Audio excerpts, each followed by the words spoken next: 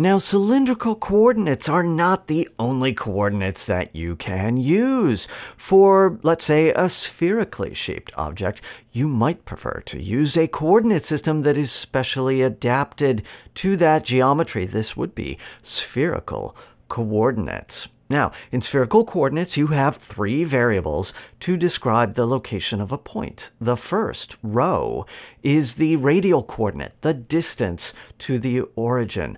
The second is an angle, theta. It's the same polar angle that we've been using, but now it has a fancy name, the azimuth. And why does this have a fancy name? Well, it's no longer the angle. There's another angle denoted phi and called the inclination. This is the angle that you make with the z axis. Now, there are standard formulae for converting. x equals rho cosine theta sine phi, y equals rho sine theta sine phi, and finally z equals rho cosine phi. You're probably going to want to remember these. Now, be, be careful with the bounds on these formulae and with the notation. Some are obvious. The radial coordinate has to be bigger than zero.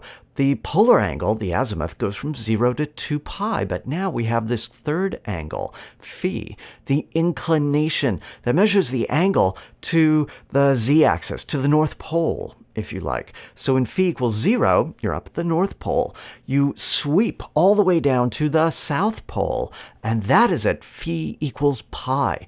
Don't let phi go from 0 to 2 pi. You got to be careful with that. Now, you might want to transform back. You may want to remember these formulae, eh, maybe not. I don't know. They're a little complicated. The first is easy. Rho is square root of x squared plus y squared plus z squared. That one makes a lot of sense. That's the Pythagorean theorem. You could express this in cylindrical coordinates as square root of r squared plus z squared, where r is that polar radial coordinate. And just as with cylindrical or polar coordinates, theta is arctan of y over x, phi now is arctan of r over z, or if you like, arc cosine of z over rho. Now that's a lot of formulae. I don't always remember that. But the thing you have to remember is that even though inclination and azimuth are like latitude and longitude, they're not exactly the same. And you have to be careful. There is no consistent notation for spherical coordinates.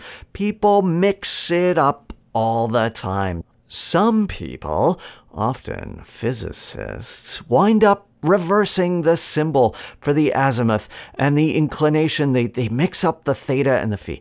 Oh, why would you do that? And then, and then they'll mess up the bounds on the inclination angle. They'll say, oh, no, no, no. When inclination is zero, that's the equator. So, so phi goes from negative pi over 2 to pi over 2. And the worst, the worst is when they exchange these symbols. R and rho, mixing up the radial variables between polar and cylindrical coordinates. Oh, I hate that. I hate that. But, but, even though we're going to be consistent in the way we do things, you have to be really careful. When you see spherical coordinates in a book, in a paper, always check the convention and the bounds.